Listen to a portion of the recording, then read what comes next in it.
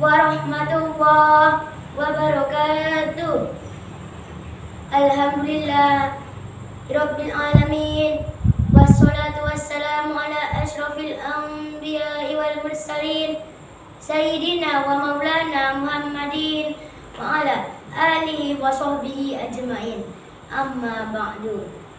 Yang saya hormati Bapak Ibu Dewan Juri Yang saya hormati Bapak Ibu Dewan Guru yang hadir pada hari ini Serta teman-teman sekalian yang berbahagia. Puji syukur, marilah kita panjatkan kehadirat Allah Subhanahu wa taala di mana atas rahmatnya kita semua dapat berkumpul dalam pagi hari ini dalam keadaan sehat walafiat.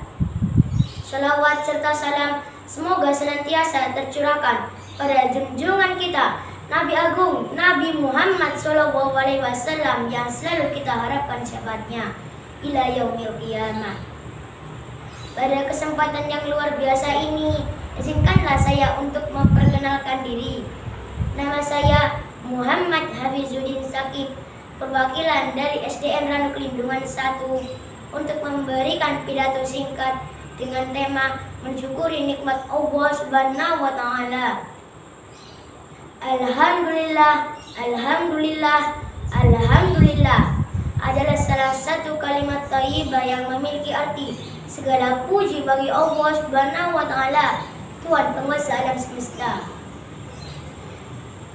Tahukah Anda bahwa kalimat tahmid ini adalah salah satu kalimat thayyibah yang disenangi oleh Allah Subhanahu wa taala? Mengapa? Adakah yang tahu Bapak Ibu?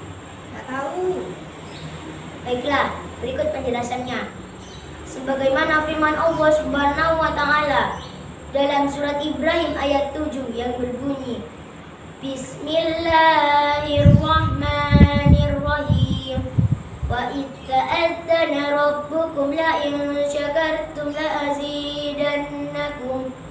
Wa la in kafartum inna adabi lasyadid. Yang artinya dan ingatlah juga tatkala Tuhan memaklumkan. Sesungguhnya jika kamu bersyukur, pasti kami akan menambah nikmat kepadamu. Dan jika kamu mengingkari nikmatku, maka azabku sangat pedih.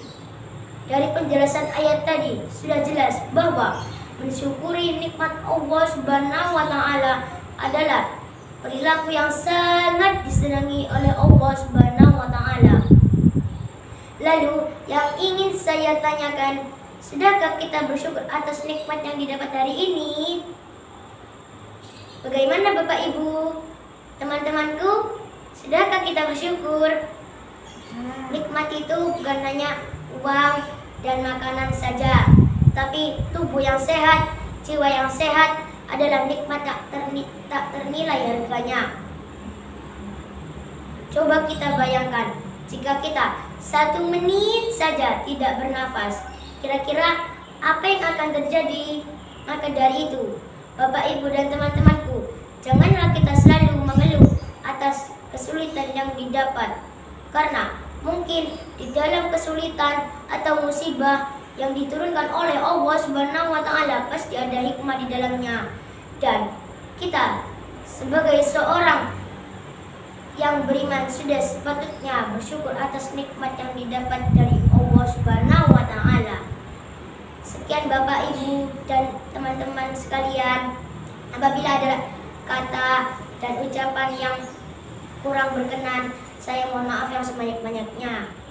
Tempe penyet dimakan dengan sayur, ditambah kerupuk dan sambal mantap. Mari teman-teman selalu bersyukur agar nikmat Allah Subhanahu wa taala selalu tambah. Akhirul kalam wabillahi taufiq wal hidayah ridha wal inayah. Warahmatullahi wabarakatuh.